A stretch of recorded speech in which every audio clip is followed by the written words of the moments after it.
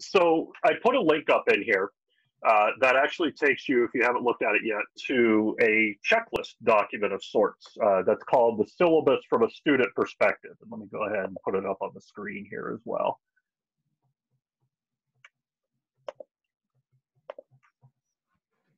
Boy, that's not very effective at all, is it? So there we go. Okay, so hopefully you'll be able to see this now. So on one level, this is a fairly basic syllabus checklist, the type of things that a dean's office might send you to make sure that you are compliant, to use that awful term that sometimes gets thrown around in, in our higher ed administration. Uh, and I say this as a part-time administrator, so guilty. Um, but on the other hand, this is actually a document that, that invites you to ask some questions uh, about your syllabus as well. Um, and so this is an open source document, uh, and since it is linked in the slides, you should feel free if you if you want to uh, to download it, use it however you want. Um, I have found that it's a really interesting exercise to pair up with somebody uh, who is not in your field, who comes at it from a novice perspective, or as the Zen practitioners say, the beginner's mind. Uh, where we don't assume that we already know everything and we're more open uh, to looking at things anew. Uh, and and looking at a course syllabus and with this checklist and going through and see what's in it and what isn't. Uh, what I'd like to do here in, in the next few minutes, though, is I'd like for you to sort of look at this, the items that are listed here uh, on the checklist, some of which you probably expect in a syllabus, other things of which you might say that seems excessive, and things of which you might have thought, I didn't think that goes into a syllabus, or I've never thought of that way before. And I'd like you to take a little inventory of that. And I'm going to put you into some breakout groups in a minute. And what I'm going to ask you to talk about in those breakout groups uh, is how much of the things that are on this checklist are things that are already in your course syllabi, and be honest. And is there anything that you see on here that you might add after having looked at it or read? So two questions like that. How, you know, to what degree is this stuff already there in a course syllabus? And if you teach a hundred level course, maybe that's the one to think about as you do this thought exercise. And then is there anything in here that you hadn't thought about before, but, you know, would be, you know, would go back and, and perhaps include now that you see it on the, on the paper. So two things to think about. Um, if you haven't done Zoom breakout rooms before, what's going to happen is in a minute, I'm going to have the, the Zoom software will automatically sort you uh, into rooms. I'm going to try to group it uh, so there's about three or four people in them. Um, you'll receive uh, a, a, notification on your screen that you've been invited to join breakout rooms and that they are open. And all you have to do is click join. Uh, when the breakout rooms are going to close, when I bring everybody back to the main gathering, uh, you'll receive a pop-up notification um, that uh, the breakout rooms will close in 60 seconds. Um, and then you will be free to move back into this main meeting space. The one thing I cannot do in the breakout rooms is continue to screen share what I have here. Um, so I will put the link to this document into the chat as somebody just requested. Um, thanks, Gregory, for, for doing that. Uh, and I will also be popping into the breakout rooms. My magical host powers of the Zoom meetings allow me to sort of materialize, kind of like Star Trek transporters, right? So don't be surprised if I pop in and wave a little bit uh, and then pop back out because I am going to try to sort of circulate around the various breakout rooms. Okay. So again, you know, what's already in your syllabus that you see on this checklist here? And are there things that kind of made you raise your eyebrows or say, huh, I hadn't thought about it that way before? Uh, and I'm interested in hearing both of those things from your group perspective, okay? So having done that, let me pull up the breakout rooms, which I do not have the capability to do all of a sudden. Uh, Megan, you might need to make me a host again in this meeting since I got kicked out earlier.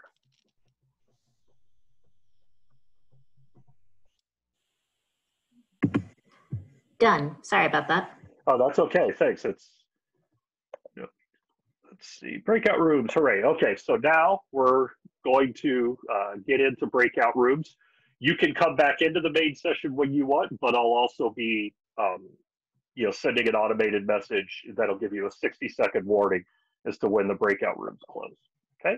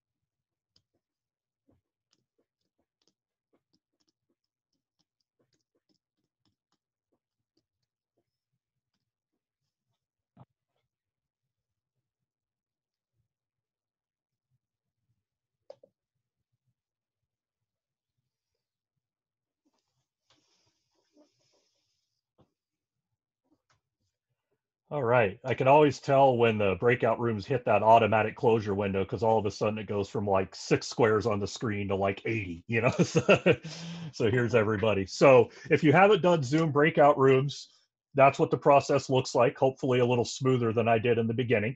Uh, but as a host of a meeting, and so if you're doing this with your own particular class, you have the ability to go in and out of different rooms. And so some of you, I didn't get to everybody, but some of you saw me kind of pop in uh, sometimes I was able to talk a little bit. Other times I was just a disembodied head floating over you before I winked back into the ether once again. Um, but it's a it's kind of a cool thing to be able to do if you're meeting virtually, especially if you have a class where students are doing collaborative work with one another. This is at least a good space to start uh, that work and to have students be able to be at least in the same virtual space um, with one another. Uh, so the breakout rooms are, are, are kind of fun to do, uh, and it is a little bit of change of pace from just kind of the big, you know, huge Zoom array. Uh, and I have also found in teaching HyFlex classes, hybrid flexible classes, where I have some students in person and some students attending synchronously via Zoom, that most of them have their cameras off during the main class, but they will actually turn them on with one another in the breakout rooms. And so you do have a little bit more of that connection, that little, you know, kind of personal angle to it there. Um, so I am going to uh, share my screen once again and put the document up here. There we go. So hopefully you can see that very same Google Doc, uh, the syllabus from a student perspective. If you could see that, if you could throw like a thumbs up or something in your, all right, awesome, thank you. So I'll invite and feel free to unmute yourself and, and just jump in. So what did you talk about in any of the groups? Did you have, you know, was there anything that y'all talked about that kind of raised your eyebrows a little bit or something that you think was really interesting and resonated with you that you'd like to kind of share out with the rest of the folks here? One thing that came up that we talked about um because i've done a couple of these different checklists where you're adding in all of this information to make sure that you're addressing all these student issues and concerns. How do you balance giving this much information without having your syllabus be 15 to 20 pages? Because mine i would say i check a lot of these but it's about a 15 page syllabus right now. I give a table of contents so you can jump to where you need to go but it's mm-hmm. a lot of information and probably pretty overwhelming particularly for a first generation college student yeah, that's a great point, Melissa. And I, one of the, a couple of the groups that I was listening in on, uh, we're talking, you know, discussing along the same lines. Um, syllabus bloat is a thing, right? I mean, do you all have required materials that you're supposed to put in the syllabus? And does that list of required materials seem to expand uh, as we as we go semester to semester? Uh, and that's the case here too. Um, so one suggestion I would make is it's worth thinking about um, either individually or as a unit or even institutional level. If you have that kind of, for lack of a better term, boilerplate syllabus stuff, is there a way that can be offloaded out of the syllabus and linked through your learning management system? You know, so we use Blackboard and we bet we built a link into the course shell menus where it says Grandview additional syllabus statements and it's right in there and it links to a PDF. And so I don't have to put it in my syllabus. So there are some things where, you know, and usually what it is is, you know, there how many of you have heard that, you know, the the the uh the sort of urban legend that a syllabus is legally interpreted as a contract? And that so you know we need to be able to have this stand up in a court of law right? Well that's a total urban legend. There's actually no case law that establishes a precedent of a syllabus as a legally binding document. But if we treat it as such think of the you know if you've ever read a legal document a contract insurance paperwork a mortgage application you know that is not very scintillating reading right so when we say students don't read the syllabus are we giving them something that's worth reading uh, and so the idea of, you know, can we offload the boilerplate type stuff or can we reframe it in language that's a little more personal? So one, one thing that we did here uh, at Grandview is we used to have six pages of stuff that had to go into a course syllabus. Three pages of that was our academic dishonesty policy but not just the policy, but here's what happens if you get dinged the first time. Here's what happens if you get dinged the second time. Here's what happens if you get dinged the third time. If you decide to appeal, and you better not think about it, but if you do, here's how it's going to go. And all of this three, you know, like, and, and what it was was we had one really weird case that freaked everybody out and said, oh, we got to put something in the syllabus. We got to have a statement so this never happens again. And oftentimes, a lot of the policy statements we have are the result of that one weird thing that happened that one time that two of our faculty colleagues are still upset about. Uh, and I only exaggerate slightly for comic effect. Uh, so how can we get some of that stuff out and, or at least, you know, hum- humanize the language a little bit? Uh, I think that's one of the things that I hope this document sort of spurs discussion in is how do we do that? You know, if we if we want students to read the syllabus, let's give them something worth reading. Let's use inviting language. Let's use I and we instead of the student will or the learner will, right? Like if we're trying to create personal connections in this mostly digital period of teaching that we're in now, the syllabus is likely going to be the first sustained point of contact between a student and our course. So it's like when they come into our house, what's it look like? Right? You know, what what kind of impression are we giving? You know, the cliche is true. You don't get a second chance to make a first impression. Uh, so if there are ways that you can think about where you're offloading some stuff in to really bring, you know, down to it the heart of what you want to convey in a syllabus and then refer students to other places and then circle back around to those later, that's one strategy to avoid syllabus bloat. Uh, and that was a really long-winded, kind of bloated answer to a question uh, to underscore the point. What else? What are some of the rest of you uh, reactions or things that you talked about in, in your breakout groups? Um, something that came up in our group um, was talking about how during uh, the syllabus week, students will often kind of just be sort of like glazed over at the end of the class and it's just like so much information overload. And so this is a good opportunity to make your syllabus stand out in a positive way.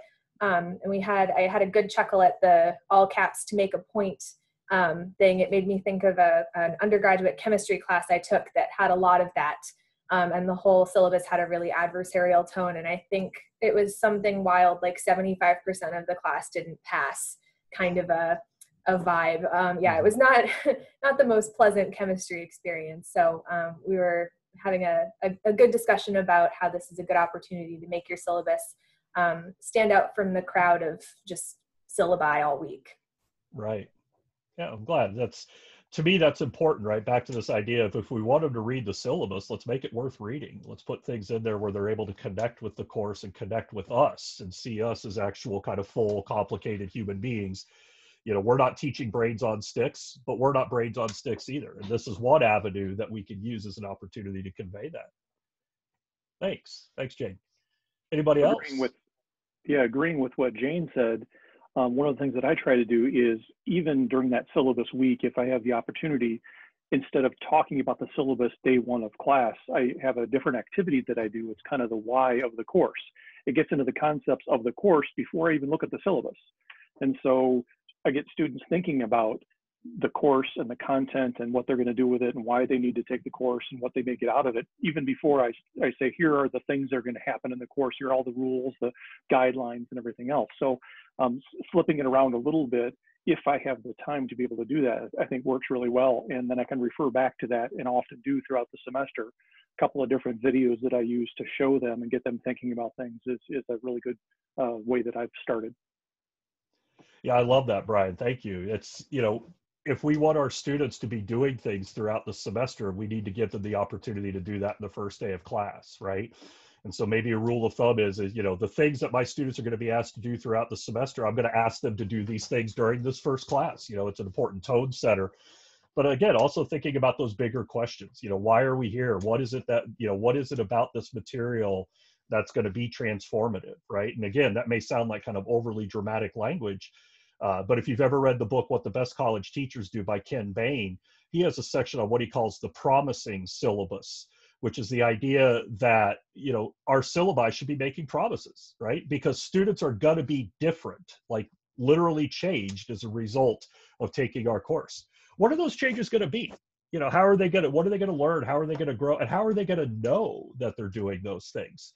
Um, you know, so the syllabus is a great place to set the conversation out like that and to help humanize us as well as invite them uh, to join the community of the class, you know, with their full selves. Uh, rather than just sort of the perfunctory, you know, my name is, my major is, and and that's about it, right? And so one of the things that you know we could do with this document that I invite you to use is just as a sort of way of doing exactly this, of sparking thought, of sparking conversation, and then you know thinking about a, a specific tool, in this case the course syllabus, that we might not always think about. Uh, that you know we recycle one from semester to semester, we just sort of change the dates and a couple of the readings or something like that. And that's you know if we've got something that's working, that's fine. But it's it's good to I think more intentionally revisit our practice and think about you know, again, this larger question of what are we saying to our students? Um, so let me put the what the syllabus gets us at then is this understanding that our practices, you know, as for example, outlined on the syllabus, are actually shaped by the theory that we bring to the particular space. So in this case, it's the, the particular theoretical approach we have to see, you know, what we think teaching and learning is all about. Our theory shapes our practice. So why not invite students into that conversation? Uh, to give them a sense of this is my approach, right? So uh, one of the things that the checklist has in there is that, you know, is there a philosophy or kind of an explanation of this is what it is about either my approach or this particular course. This is why this is important. You know, this is my chance, you know, to kind of proselytize, right, to students. So let's take advantage of that. Uh, our practice, our pedagogical practice shapes the everyday choices that we make and the methods that we use in class if can we be intentional and transparent with students about the choices we make about the methods we use and why we do a particular thing? Uh, had an interesting conversation in one of the breakout groups uh, one of the instructors to to help keep students engaged you know throughout an entire zoom session uh, by doing regular content based quizzes at the end of a session to test students uh, retention and learning of the particular material. Well that's actually a really good strategy to help retain material in the long term. It's called retrieval practice. And so here's an evidence-based strategy that this instructor can now tell his students, you know, we're doing this for a reason, right? Here, here's my, here's the larger point. This is how it's going to help you. And so this is a chance for us again to invite students into that conversation. You know, the spaces that we're in, you know, this there's a reason. It's not arbitrary. It's not hazing. It's you know, here is something that will help you, uh, and and you know the the logic behind that. But in order to be able to do all that, right, is we have to be able to articulate uh, our theoretical and our pedagogical stances. We have to be able to, to articulate to ourselves and thus to others clearly what those are. And so here are some things that I would suggest that we kind of keep in the center of these, you know, conversations about intent and discernment. Uh, you know, now more than ever, I think we need to keep in mind that we're creating teaching and learning spaces for actual human beings. You know, I've used the the expression "brains on sticks" a couple times uh, in this in this talk.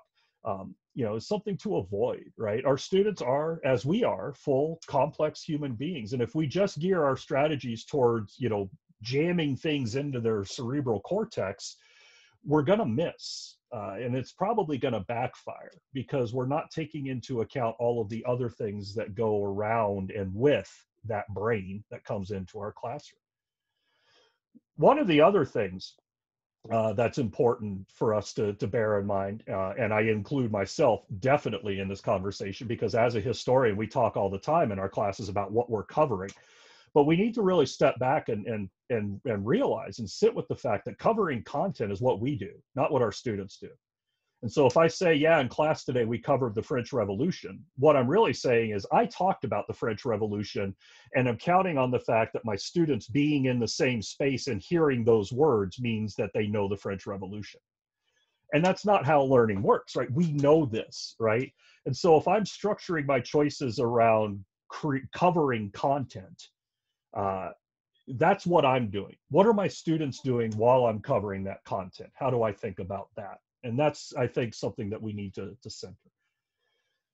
Now that we're in a fully or at least partially digitally mediated environment as well, we need to think about the design choices we're making. And I know you have an instructional design staff as a resource for you there. Instructional designers are some of my favorite people in the world because they bring the expertise in both technology and pedagogy to help us on the faculty create learning spaces that help us do the things that we want to do with students. Uh, because as I suggest here, we should be designing courses for students rather than in spite of them. Uh, you know, pedagogy is not a weapon, right? And so what are these spaces doing with and for our students should be the first question that we ask because learning spaces you know in any of these spaces whether it's a traditional face-to-face class or you know this new hybrid or fully online environment that we find ourselves in we have to acknowledge you know the reality right all of us but especially students you know are learners in progress. We are in a process of becoming in a particular class. And students have been becoming to the particular class that they they are sharing space with us now uh, through a, a, variety of different experiences and journeys. And in our current moment many of those journeys have been really difficult we need to recognize that fact and design and implement accordingly that students have taken a variety of different paths to this place where we are now in progress walking the same road to use freire's term uh, how do we center this in our design choices? Because again, the question becomes, what are we saying to our students? Think back to this idea of the hidden curriculum, right? What are our students learning from us? And are they learning things that we would be horrified to know that we were teaching them if we were aware of it? Are we telling our students that they belong? Our universities have by admitting them, how are we reinforcing that message that yes, you do belong here? We believe you are capable of succeeding in this space. It will not be easy, it will be challenging, but that is why we are here, right? And so connecting with our students, building a social connection with our students so that all of us are what the, the researchers on online learning call socially present in a particular learning space is is is really important for what we're trying to do here in this sort of teaching in the era of COVID. In order for meaningful learning and student success to occur, we have to have a high degree of not just this presence, but connectedness as well. So think about social presence as the degree to which someone in an online or digital space is recognized as a full human being, as visible as that self, as a self, as opposed to an avatar picture, right? And then beyond that presence, how are we getting socially present folks, ourselves included, connected with one another? And connection doesn't always have to be synchronous connection either. There are plenty of asynchronous ways of building community and social connectedness uh, that that we can implement as well. And there's some research on this that I think is really suggestive in terms of what are some of the possibilities or the affordances that we have in either hybrid or fully online spaces. Uh, so if you've done online teaching um, before, you've read any of the research on it uh, in, in terms of high impact practices or things like that, you might be familiar with this particular model. This is Aimee Whiteside uh, from oh Jesus, she's somewhere in Florida, and I apologize for forgetting her institution. Um, Aimee Whiteside and her colleagues have done a lot of work on this idea of social presence in online learning. Uh, and as you see by the the illustration here, they see you know meaningful and sustained social presence as an interlinking of five key components. And some of those are pretty, you know, self-evident, right? You know, instructor investment. Uh, you know, if the instructor is invested in the class, the students are more likely to be invested in the class, right? So some of this is instructor presence, you know, things that we would say, yes, so, you know, I can see how this this feeds into social presence. But a couple of the other things I think are, are really interesting to contemplate because they might not be as front of mind at first. Uh, interaction intensity and affective association, I think, are two things that we can think more about as an area of possibility in terms of community building between us and our students. Uh, learning is not just cognitive, learning is affective as well. Emotions matter. Um, Sarah Rose Cavanagh has a great book called The Spark of Learning, where she talks about emotion, the science of emotions. She's a cognitive psychologist, uh, and how emotions either promote or hinder effective learning and meaningful academic experiences. Um, I have a slide at the end of this deck here that has a whole bunch of links to some of these sources, and I link her book as well if you're interested. Uh, so learning is an affective, not just a cognitive thing. Uh, and the intensity of interactions as well. You know one of the things that was hardest for me in terms of developing you know my skills as an online teacher was not just building in opportunities for interaction but paying attention to how meaningful and intensive those interactions are. You know routine perfunctory discussion board posts 5 minutes before a deadline. Oh yes i agree. Great point you know that's interacting but is that really building presence right? So how am i creating spaces and asking questions and inviting students into interactions that have much more depth much more intensity to them? So how am i creating spaces that foster meaningful and genuine presence and are connecting environments to build community to build learning community with our students so again, understanding the affective dimensions of this process. And this is particularly relevant, again, given the larger context within which we're operating. Uh, so I mentioned Cavanagh's book, The Spark of Learning. You know, all of the things that we know from teaching and learning research about effective learning for students. They need to pay attention. We need to harness our working memory so we're able to retain particular content and materials. We need to bolster that long-term retention and, and we do so by building motivation that students do all of these things better when they are motivated and feel connected with the particular experience they're in.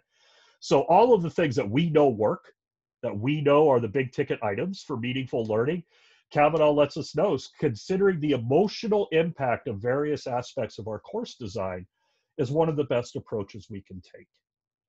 Again, learning is affective and not just cognitive.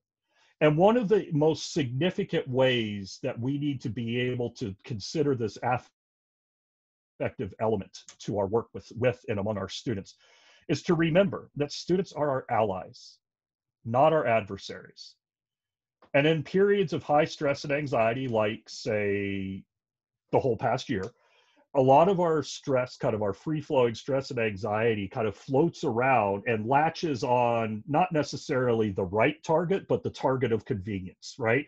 So, who are we around the most and interacting the most with? Our students and our colleagues. And so, that ambient stress, that, that fear, that sense of a loss of control, you know, are we now in a place where we're manifesting that on people who, who are our allies, who are interested in the same things that we are interested in? Academic success, meaningful learning, a rich and meaningful experience. You know, it is very easy to complain about students when we're around them a lot. And when we're doing that, even if they don't hear it, we're still saying things to them that we might not mean to say. So when we ask that question, then what are we saying to our students? You know, the syllabus exercise that we just did is a big, you know, the big underlying question there is what are we saying to our students? What are we telling them? What do they think that we think about them? What stories have we told ourselves about our students? Students are blank.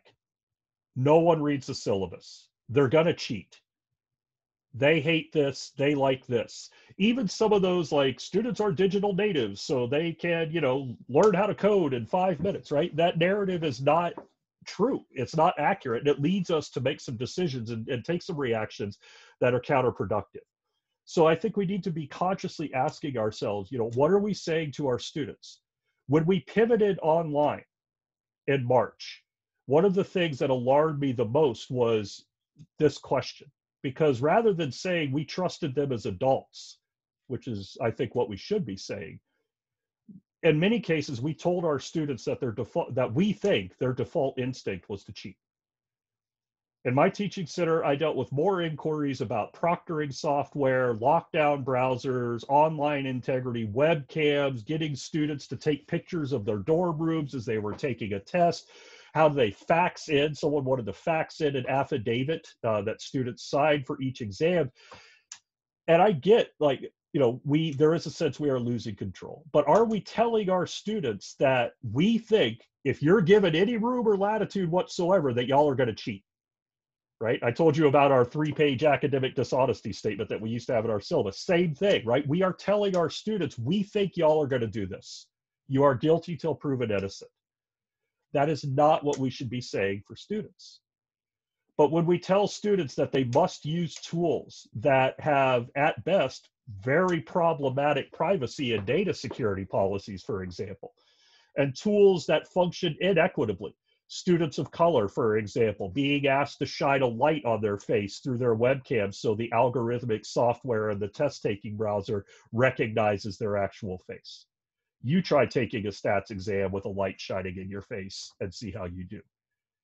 What are we asking our students to do? And what are we telling them we think of them as a result? We have research, for example, on some of these, um, you know, uh, lockdown browsers, academic integrity softwares, things like that. Uh, and what we know from the early returns that we have from this study that was done in 2019, for example, that some of our students are disadvantaged by the common features of online test monitoring services. We do know that they increase test anxiety. We don't know that they actually prevent cheating, but we do know that some students are being inequitably affected by the use of these tools. And so, again, we need to be very discerning about our choices. I'm not saying that academic dishonesty doesn't happen or isn't a problem, but I do think that some of these tools are the equivalent of machine gunning a mosquito. In other words, it's a lot of response that doesn't necessarily guarantee a satisfactory solution. If we're worried about cheating and integrity, we need to look at the circumstances that would lead a student to make that choice to engage in dishonesty. And so, is it a super high stakes assignment that their entire grade depends on where all their motivation is extrinsic and there's a ton of pressure? That's a set of circumstances that might lead to some poor decision making. Are there ways that we could revisit that process or revisit exams or the way that we deliver assessments and the way that we differentiate assessments? Are assignment designs themselves that get at the root of this problem much more effectively than this, you know, heavy handed, I would argue, approach. So as Jesse Stommel, the writer and educator, put it, you know, he did a, a Twitter hashtag several years ago. What's your four-word pedagogy? You know, kind of inspired by those six-word short stories that NPR did for a while. You could do a lot worse than this one, right? Start by trusting students. As Sean Michael Morris put it, and this was the quote that I used over and over in the spring, our students don't come to college to cheat. They come to college to learn. And so, if they are making the decision to cheat, we need to interrogate that process. How did we get to that point? And then let's take some action and then let's strategize, right? Now, I mentioned that I had a very poor first semester as an undergraduate. Uh, my F, that I, my first F, was in intermediate Latin. Uh, I am a Latin refugee. But even though I failed intermediate Latin that year, I do remember enough to know the infinitive form of the Latin verb educare, which is to draw out or to draw forth. And that is, of course, the root word uh, for our word education.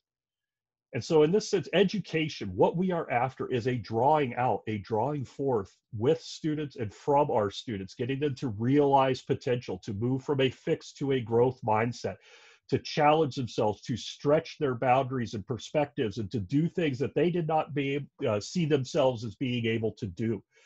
We are in the drawing out business. We can't draw out something if it's behind a fence. It just doesn't work. So, what are we saying to our students? What is the philosophy that is giving shape and meaning and coherence to the practices that we embody on an everyday basis? What would a pedagogy based on this idea of hope look like? Meaningful and substantial as opposed to airy and ethereal. So, first, I would suggest that acting from a place of hope, a pedagogy grounded in hope, means that we own our stance, that we acknowledge our stance, our orientation, our theory, and our practice. This is what I, you know, this is how, what I believe about our teaching and learning space. This is these are the assumptions that I'm operating. This is the story I have. What are your stories? So we own our stance and we acknowledge that. We acknowledge our theory and our practice because that helps us create learning spaces for actual human beings and not just that they can occupy, but feel like they belong? Are we welcoming and re welcoming students, not just the first day of class, but consistently, especially, even in especially digital environments where that sense of connectedness is harder to sustain? Can we create these spaces where students can be fully present as themselves? Are we inviting them and creating the spaces for them to do that? I think we do so by remembering that learning is affective, not just cognitive, and that students are our allies in this venture. They want the same things we want. They shouldn't be our adversaries. And so let's act from hope, not from fear. Pedagogy is our practice. Pedagogy is, in this sense, the sort of set of lenses that we look through, that we view the work that we're doing, our particular avocation, as well as the communities and the spaces in which we're doing that work. Pedagogy is our practice. It's how we approach our work with and among our students and with and among the university and higher education communities of which we are a part. That practice always derives from theory. How would a fish describe water? You know, the famous story from the late author David Foster Wallace. If you have, if you're not familiar with it, he tells the story of uh, two young fish swimming through the water, and an older fish swims up from the other way alongside him. As they pass, the older fish looks at the younger fish and says, "What a great day! The water's awesome. What a great day to be swimming in the ocean." And about five minutes, they keep on going, and about five minutes later, one of the younger fish turns to the other one and says, "What the hell is water?" So how would we? How would a fish explain water? How would we explain the the figurative water in which we're swimming? Do we even know we're in the pool? Are we in the right pool? Pedagogy is practice and practice always derives from theory. Or as the great philosophical trio from canada rush put it in their song free will even if you choose not to decide you still have made a choice. So if we choose a practice, a pedagogy, a praxis, to put it as Freire might, rooted in an ethic of hope.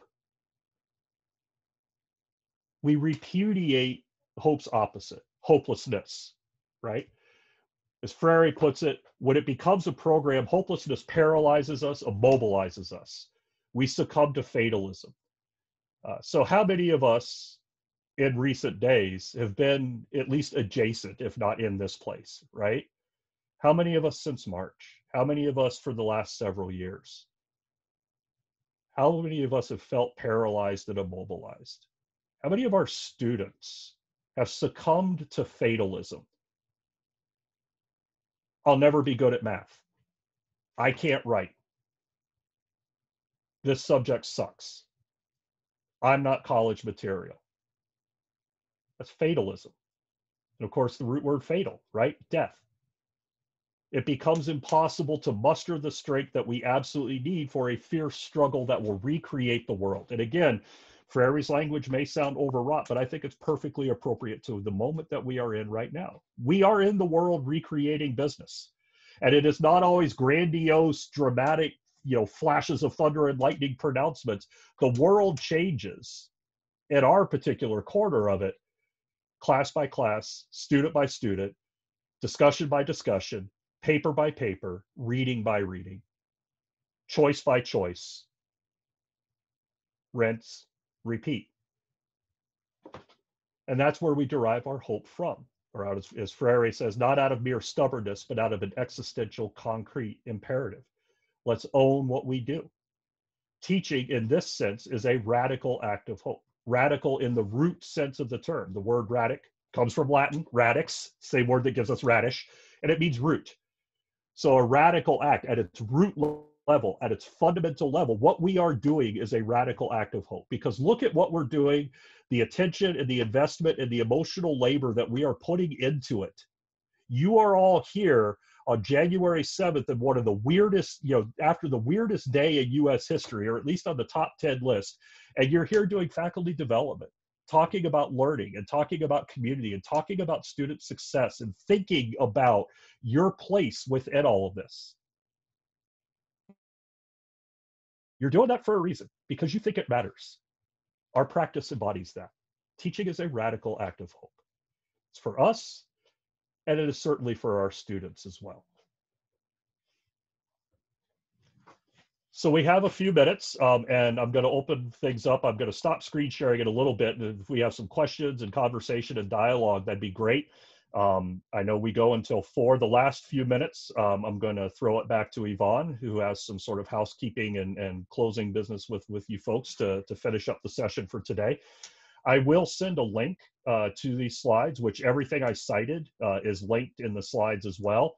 Um, and, or you can access them at this bit.ly address, this link that I put here as well. Um, but I'll send the link to Yvonne, and you should feel free. These are Creative Commons open license, so use them, reuse them, modify them, remix them, however you wish, if you wish. Uh, totally fine.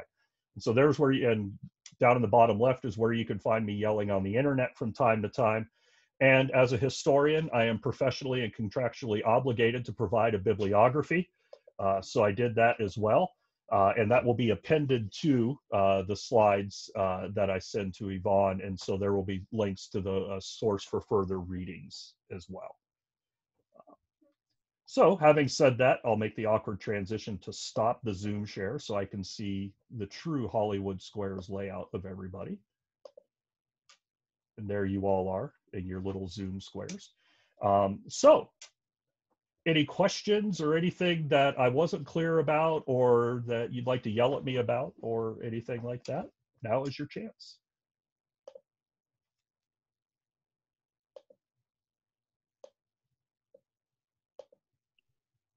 So just for fun, did you say Rush said not to decide is to decide?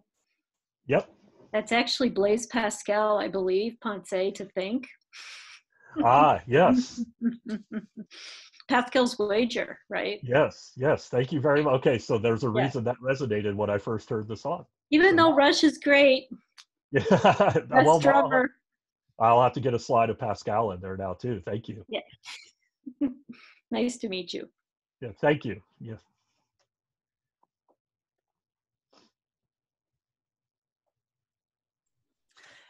Kevin, I'm going to interject with something from our uh, our the breakout group that we had when we were talking about what was in our syllabi or or should be in our syllabi, and we had a, a fabulous conversation about teaching philosophy. So, I I thought I would put you on the spot and ask if you had any any more tips or suggestions about how to distill your teaching philosophy down to something that you might put on your syllabus or uh, share with your students? Are there any particular questions or approaches you think faculty can take to do that?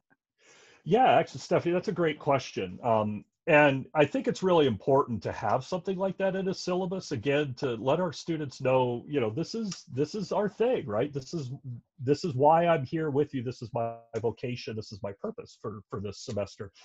Uh, but they're also really hard to write. You know, many of you probably had to write some sort of teaching statement for academic employment at sometimes, and you're looking at the blank screen like, oh my God, how do I write something like this? They're really hard to do.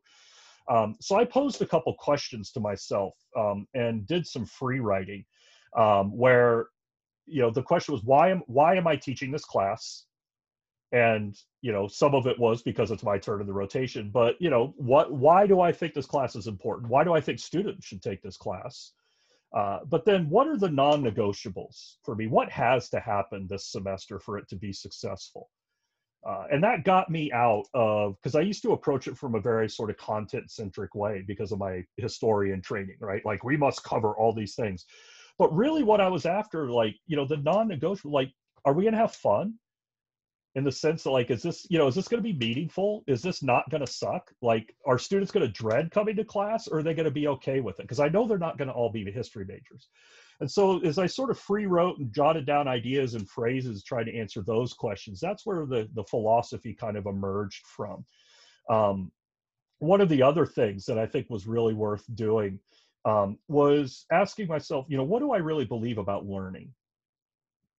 Right? And so one of the things I would suggest that that was really helpful for me coming out of it, uh, and I talk about this in my book a little bit too, because I learned from others uh, some really good ideas about it. But we all put in our syllabi that accommodation statement, right? Like if you have a documented disability, here's how you get accommodations and call this person and bring this form and all of that. And what we do is, you know, we sort of make it a one person, one time, one accommodation thing. But learning isn't like that, right? And so I went from accommodations to a statement about learning, where I, you know, I believe learning is universal. I believe we learn in different ways. Uh, we learn in different patterns. We approach content in different ways, but we are all learners and thus can be successful learners. And so my job is to figure out how to help you discern what kind of learner you are how do you be a successful learner and then help connect you to the resources that you need to grow in that success. So if that means we talk to the disability services office great that's one thing we can do. But there are other things and everybody's a learner and if learning is universal then there are other things that we can do as well.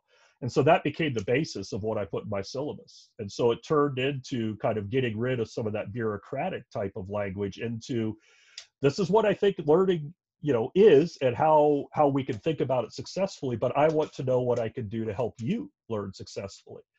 And what was interesting about that was that you know students aren't often asked how they learn. They're asked what they learned or if they learned but they're not asked how and one of the things that I think students run into, the same thing I ran into in college, is I had never asked myself how I learned. And so when I didn't have answers to that and I wasn't learning successfully, I didn't know where to go. Right. So we if we want students to think of themselves as learners and we, you know, thinking metacognitively, which we know is a good thing for learning, we have to ask them those questions. They're not going to do things that they have not yet been asked to do. And so asking students to think of themselves as a learner and even write out the first day of class, what can I do to help you learn? What can I do to help you learn better? What would you like this class to be? Asking students for their goals for the class. And it could be something as simple as I don't want this class to suck. You know, that's great common ground because I don't want this class to suck either. So we are here, right? But then you can get into that sort of conversation that has students kind of thinking about, you know, what am I doing here? What do I really want out of this class? Why am I taking this core class? What do I want to bring with me from this class when I go into my accounting major or whatever it is? What do I want to get out of it? And inviting students into that space, especially first year students, that can be a really meaningful conversation because it helps now reframe, you know, you are not just a passive recipient of content. You know, you are an active learner now and you know and this is what college is and this is what higher education is and so let's let's get started on that work Thank you. That was a fabulous answer. Thanks. It was somewhat long-winded, for which I apologize.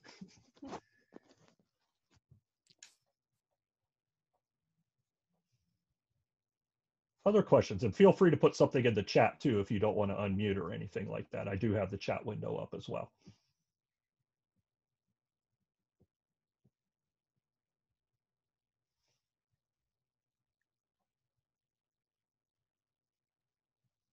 And not all at once because it's really hard to hear, you know, what everybody's talking at the same time.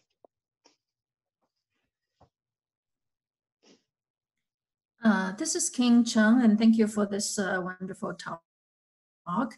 Um, I just have a question about um, if you say we require Respondus to um, do the testing, and you know some students may feel you know that is uh, uh like um, you know a stress factor for them but the thing is that you know there was one time I also you know I was administering um, the uh, un, an undergrad test and then you know and then I forgot to put the Respondus and then I put it on and then some students said that well that's not fair. Then I was thinking why is it not fair? So you know unless you're thinking about you know like. Uh, using other ways to answer the questions then it becomes unfair. But you know i i'm wondering you know how if we do not um, have that kind of uh, um, quest you know that kind of uh, that tool then we're going to make sure you know because some students obviously would not cheat but sometimes you know some students might.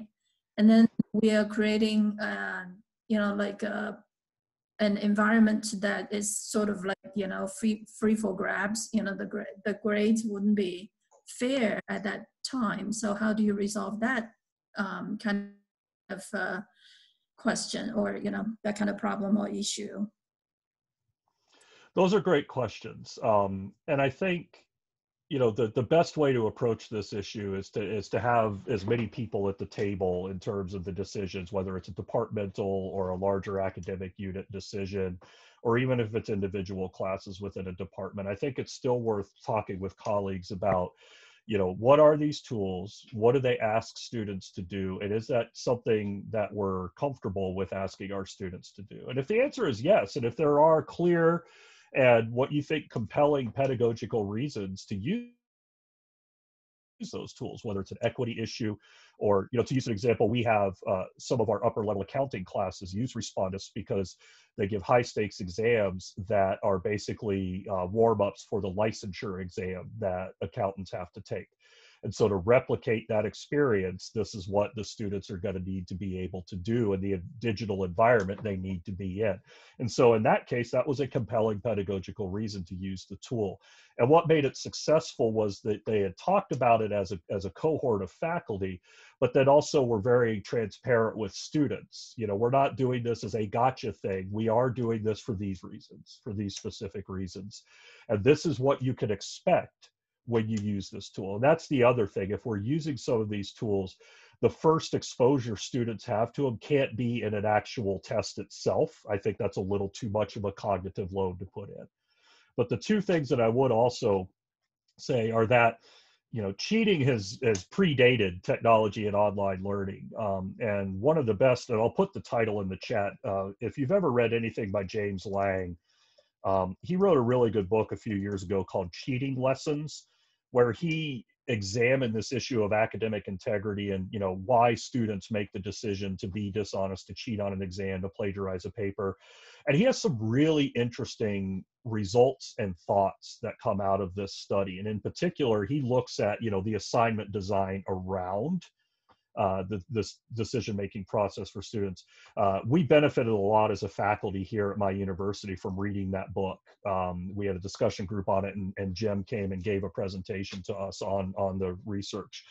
Um, what we took out of that is to be more collaborative with students, but also to be much more discerning about, you know, is this something, is the benefit from using this tool cutting down on cheating, you know, by a handful of students. Does that balance out with more students who might have test anxiety exacerbated by the use of this particular tool? And for us, with about a 60% first generation student population, we had to talk about that fairly extensively. So those collaborative conversations and then transparency with students whatever path you end up taking or tool you end up adopting i think those are those are two key elements in making it successful.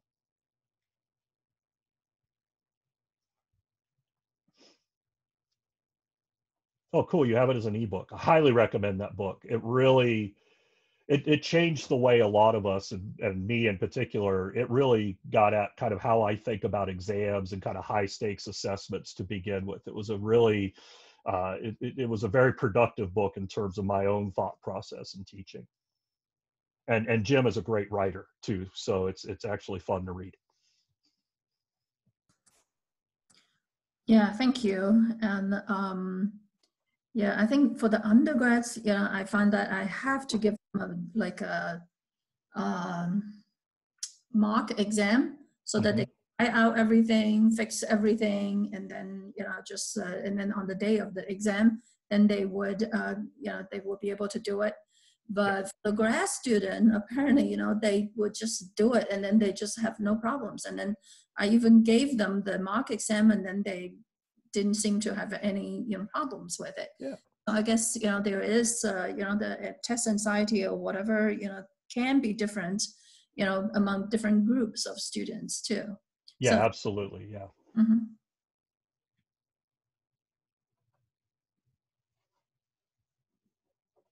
Anyone else?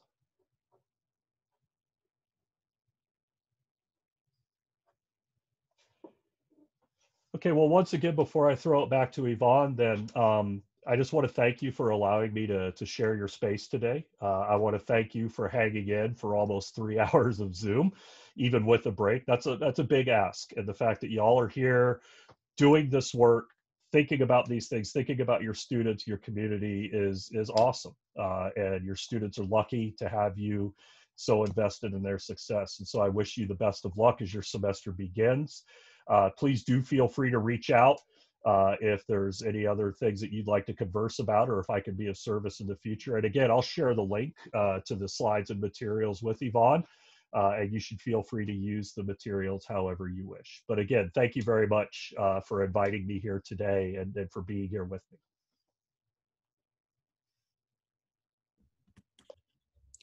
Thanks, Kevin.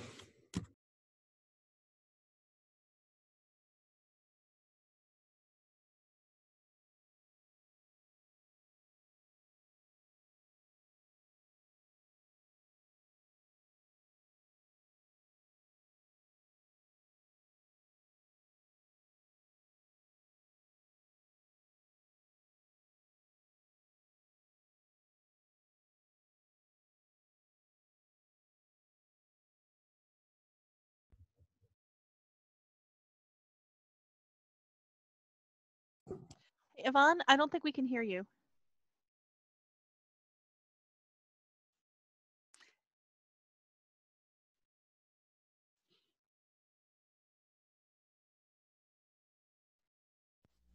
Can you hear me now? Yes, absolutely. Okay, thank you. Sorry about that. Um, thank you so much, Kevin, for sharing your insights today. We deeply appreciate it. If each of you could please share an emoji or a thank you note in the chat to let Kevin know how much we appreciate his insights, please um, do that now. And Kevin, we, we sincerely appreciate you sharing your thought-provoking remarks with the NIU community. The timeliness of your presentation on creating communities of hope is um, perfect. And you address some complex, controversial, and sensitive issues that we, as well as our students, are all navigating in this unprecedented time in history. And the techniques that we discuss for building community in our classrooms, using culturally responsive teaching practices, creating meaningful learning experiences, and building presence and connections will help us support our students' success and help us to create that pedagogy of hope in our classrooms. We're grateful that you shared compelling examples that we can readily apply and that you challenged us to consider and reconsider the knowledge producers in our disciplines and others that we may consider bringing into our classrooms as well. As you said, it is very important for us to act from a foundation of hope, not from a foundation of fear. And those are compelling insights for us to build upon from this moment on. We are thrilled to kick off the 2021 spring semester with your um, you as our keynote speaker. We would also like to thank the Disability Resource Center uh, representative Christina who uh, provided live captioning for us today. And um, I have posted a link to a program evaluation in the chat. So if you all could please click on that link and submit um, the program evaluation, we would appreciate it. And for those people who have, who were registered for the program and participated today, we will be sending out um, a link for you to access Dr. Gannon's ebook um, titled Radical Hope. So you should be getting that in um, the near future. And I'd also like to remind you to um, take advantage of the Center for Innovative Teaching and Learning uh, resources that we have for you. And we're here to help you. And we are excited to um, kick off the semester with you. And please remain hopeful and let the Center for Teaching and Learning, uh, Center for Innovative Teaching and Learning staff know if we can help you. So thanks you all for coming today, and we look forward to engaging with you in our regular day-to-day -day duties. Have a great spring semester. Thank you.